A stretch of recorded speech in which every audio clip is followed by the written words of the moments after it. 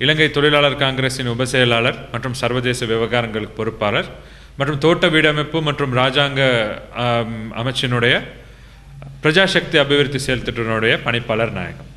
இன்றைக்கு வந்து கடந்த ரெண்டாயிரத்தி இருபத்தி ஒன்றாம் ஆண்டு கொரோனா கால பகுதிக்காக இருந்தாலும் கூட பிரஜாசக்தி அபிவிருத்தி செயல் திட்டத்தினூடாக பல வேலை திட்டங்களை நான் வந்து எங்களுடைய பெருந்தோட்ட பகுதிகள் மட்டுமல்லாது பெருந்தோட்ட பகுதிகளை அண்டி இருக்கிற கிராம பகுதிகளுக்கும் நாங்கள் எங்களுடைய சேவைகளை கொண்டு போயிட்டு சேர்த்துருந்தோம்.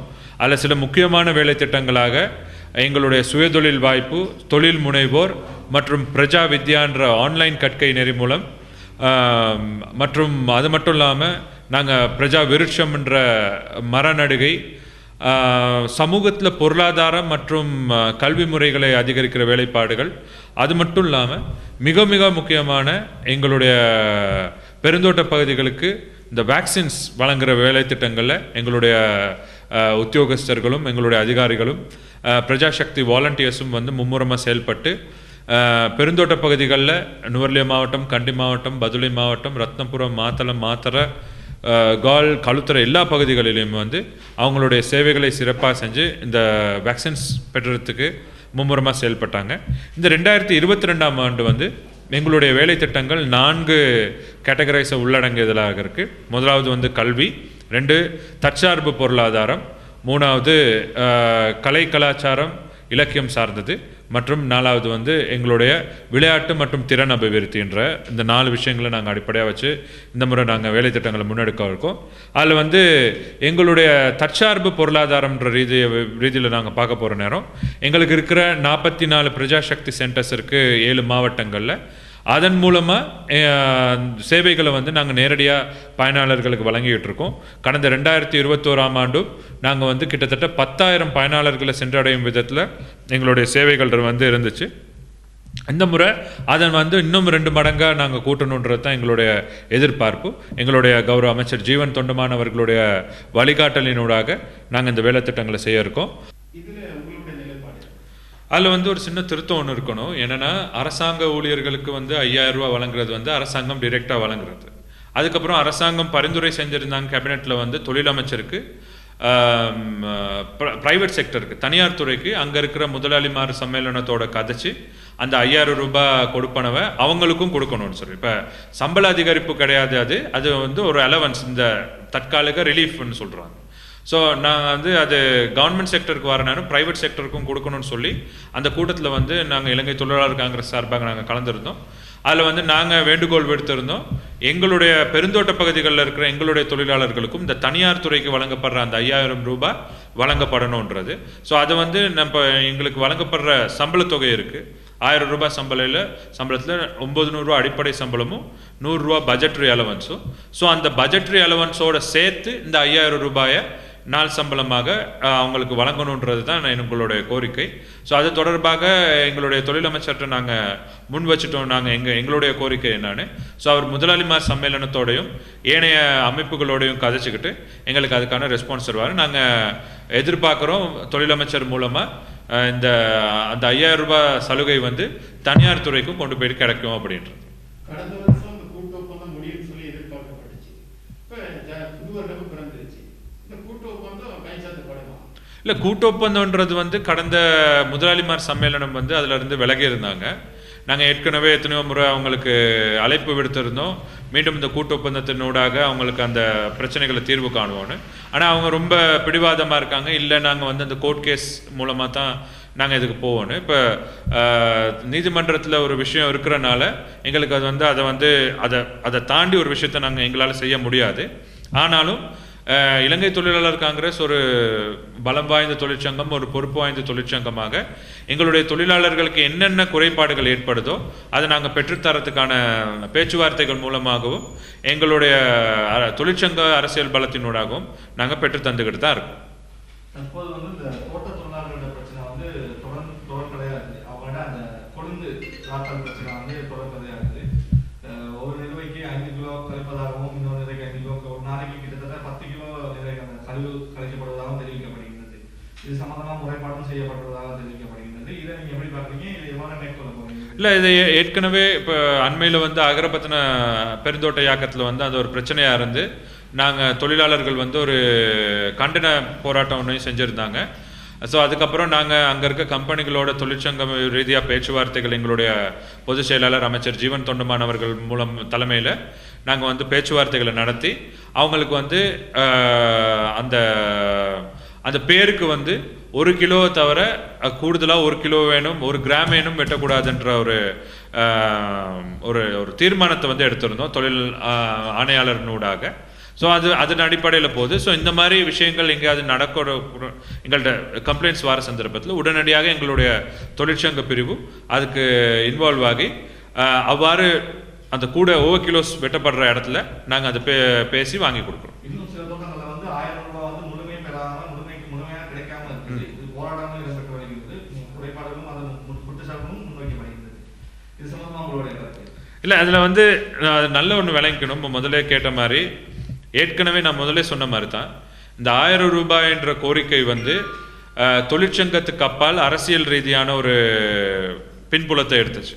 ஸோ அந்த பின்புலத்தை எடுத்தது காரணமாக நாங்கள் வந்து அந்த வளமையாக சம்பள பேச்சுவார்த்தை பேசுகிறது வந்து இந்த கூட்டு ஒப்பந்தத்தின் ஊடாக. இப்போ இந்த கூட்டு ஒப்பந்தம் இல்லாத சந்தர்ப்பத்தில் சம்பள நிர்ணய சபையினூடாக இந்த ஆயிரம் ரூபாய் வழங்கப்பட்டுச்சு. ஸோ அந்த ஆயிரம் ரூபாய் வழங்கப்பட்ட ஆயிரம் ரூபாயை வந்து இம்ப்ளிமெண்ட் பண்ணுறதுக்கு அதை வந்து மக்களிடம் கொண்டு போயிட்டு சேர்க்குற அந்த பொறுப்பு வந்து தொழிலமைச்சுக்கு இருக்குது தொழில் அமைச்சுக்கு இருக்கு. ஏன்னா சட்டவாக்கங்களை உருவாக்குறது. இப்போ கடந்த நடந்த தொழில் ஆணையாளர் கூட்டத்திலையும் வந்து நான் அதை தெளிவாக சொல்லியிருந்தேன். நாங்கள் அந்த ஆயிரம் ரூபாயை பெற்றுத்தரத்துக்கான முழு ஒத்துழைப்பையும் சம்மந்தத்தையும் நாங்கள் தந்திருந்தோம். ஸோ அதனுக்கான சரத்துக்களை உருவாக்குங்க. அதில் கொடுக்காம இருக்கிற கம்பெனிகளோ தோட்ட நிர்வாகமோ அவங்களுக்கு எதிராக சட்ட நடவடிக்கை எடுக்கிறதுக்குன்னு. ஸோ அதுக்கான சட்டவாக்கங்கள் கூடிய சீக்கிரம் பிறப்பிக்கப்படும்.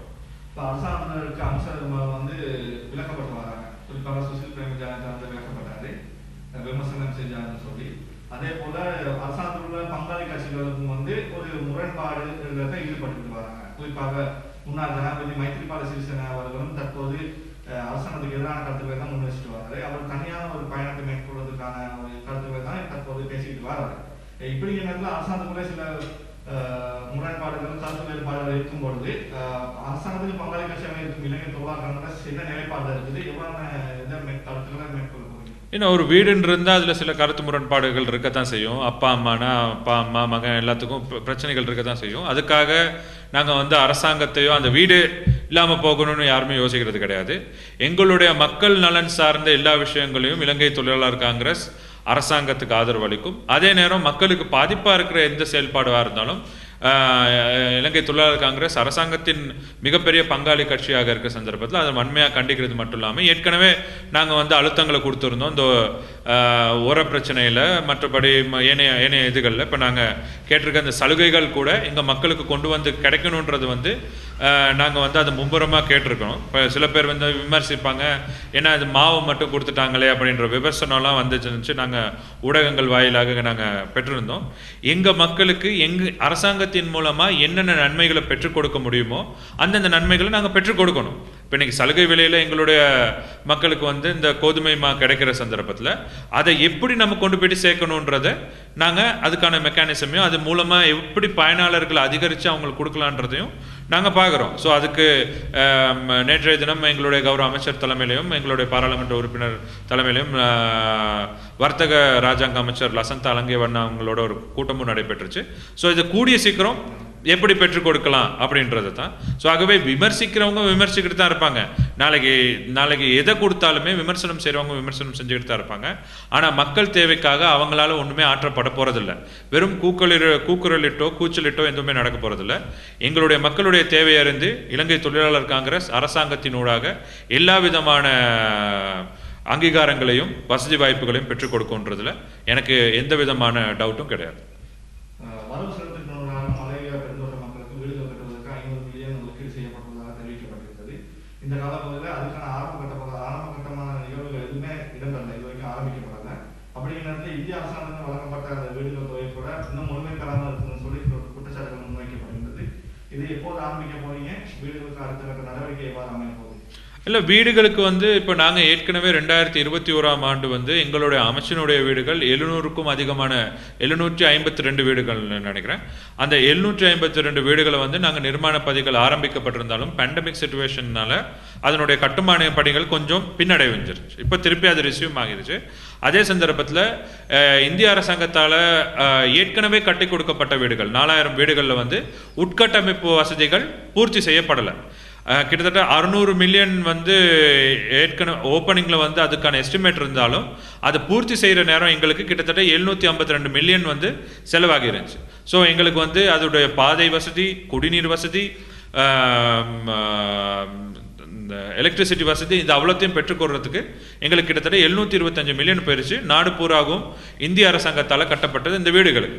ஸோ ஆகவே கடந்த காலங்களில் விட்டப்பட்ட தவறுகளை தான் நாங்கள் இந்த முறை கடந்த ரெண்டாயிரத்தி இருபத்தி ஒன்றில் வந்து நாங்கள் செஞ்சு முடித்தோம் ஸோ ரெண்டாயிரத்தி இருபத்தி ரெண்டில் நாங்கள் இந்த இந்திய அரசாங்கம் கொடுக்குற பத்தாயிரம் வீடுகள் மட்டுமல்லாமல் எங்களுடைய அமைச்சினூடாக வழங்கப்படுற வீட்டு திட்டத்தையும் துரித கதியில் வந்து ஒரு தரமான வீடுகளாக பெற்றுத்தரத்துக்கான அதாவது அவங்களுக்கு நிர்ணயிக்கப்பட்ட அந்த பத்து பர்ச்சஸில் வந்து அவங்களுக்கு அந்த வீடுகள் அமைச்சு தர்றதுக்கான வேலை திட்டங்களை நாங்கள் முழு வீச்சில் ஆரம்பிச்சிருக்கோம். இப்போ நான் முதல்ல சொன்ன மாதிரி அந்த வீட்டு திட்டம் மட்டும் இல்லை மட்டும் இல்லை எங்களுடைய எண்ணம் எங்களுடைய நோக்கம் எங்களுடைய மக்களுக்கு காணி உரிமை எடுத்து தரணுன்றது. ஸோ அந்த காணி உரிமையை எடுத்து தர வேலையும் சிம சிமால்டேனியஸாக ரெண்டு சைட்லையும் போயிட்டே இருக்கு. அஹ் தற்போது அரசாங்கத்தில் இருக்க அமைச்சர் அஹ், மைதானந்த அமைச்சர் அவர்கள் இரண்டு தினங்களுக்கு முன்பு நாகப்பட்டிய ஓகில் பகுதியில் வந்து ஏழு பேச்சு காணியை தான் கொடுக்கணும்னு சொல்லி ஒரு பேச்சு ஒன்று ஒரு கருத்து ஒன்று வெளியிட்டிருந்தாரு. இப்போ நீங்கள் பத்து பேச்சு அப்படிங்கிற மாதிரி ஒரு கருத்து சொல்றீங்க. இது எந்த வகையில் எந்த எது உண்மை? எந்த வகையில் உண்மை இதுதான் உங்களோட இதில் வந்து தெளிவாக வந்து எங்களுடைய அமைச்சரவை அங்கீகாரம் இருக்கிறது. நாங்கள் எங்களுடைய ராஜாங்க அமைச்சர் வந்து பிரதமரினூடாக அமைச்சரவை பத்திரம் போட்டு எங்களுக்கு வந்து பத்து பர்ச்சஸ் நிலம் வேணும் அப்படின்றத வந்து அப்ரூவல் வாங்கி இருக்கோம்.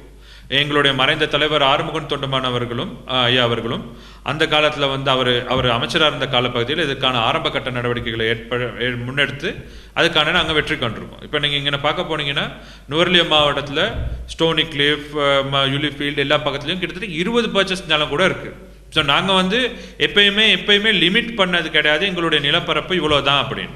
ஸோ கடந்த அரசாங்கத்தில் தான் அது ஏழு பர்ச்சஸாக குறைக்கப்பட்டிருக்கு. நாங்கள் அதை பத்து பர்ச்சஸ் ஆகியிருக்கோம் இப்போ மக்கள் பெருந்தோட்ட இயக்கத்துக்கு வந்து அமைச்சர் மஹிந்தானந்த் அவர்களுக்கு கீழே வர்றனால அவங்க வந்து சொல்லலாம் ஏழு பர்ச்சஸ் நாங்கள் தரோம் அப்படின்னு சொல்கிறதுக்கு ஏன்னா மக்கள் பெருந்தோட்ட இயக்கத்துக்கும் வந்து பெருந்தோட்ட கம்பெனிகளுக்கும் தொடர்பு இல்லைன்ற ஒரு கருத்தை அவங்க முன் வைக்கலாம். ஆனால் இப்போ வெகு விரைவில் வந்து எங்களுடைய அமைச்சருக்கும் அவன் மைந்தானந்த அமைச்சர் அவர்களுக்கும் ஒரு க சந்திப்பு ஏற்பட இருக்கு. இதில் வந்து அதுக்கான கருத்து முரண்பாடுகள் தீர்க்கப்படும்.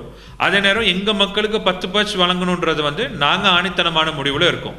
யாருமே வந்து எங்களுக்கு வந்து கூட காணி கொடுக்க போகிறது கிடையாது. நாங்கள் தான் அதை பெற்றுக்கணும். அது ஸோ அதனால அதை நாங்கள் பெற்றுக் கொடுக்கறதுக்கான வேலையை நாங்கள் கட்டாயம் செய்வோம். தற்போது அரசாங்கத்தில் அமைச்சர் மைதானந்த அமைச்சர் அவர்கள் இரண்டு தினங்களுக்கு முன்பு நாகப்பட்டிய ஓகில் பகுதியில் வந்து ஏழு பேச்சு காணியை தான் கொடுக்கணும்னு சொல்லி ஒரு பேச்சு ஒன்று ஒரு கருத்து ஒன்று வெளியிட்டிருந்தாரு. இப்போ நீங்கள் பத்து பேச்சு அப்படிங்கிற மாதிரி ஒரு கருத்து சொல்றீங்க. அஹ் இது எந்த வகையில் எந்த எது உண்மை? எந்த வகையில் உண்மை இதுதான் உங்களோட இதில் வந்து தெளிவாக வந்து எங்களுடைய அமைச்சரவை அங்கீகாரம் இருக்கிறது. நாங்கள் எங்களுடைய ராஜாங்க அமைச்சர் வந்து பிரதமரினூடாக அமைச்சரவை பத்திரம் போட்டு எங்களுக்கு வந்து பத்து பர்ச்சஸ் நிலம் வேணும் அப்படின்றத வந்து அப்ரூவல் வாங்கி இருக்கோம்.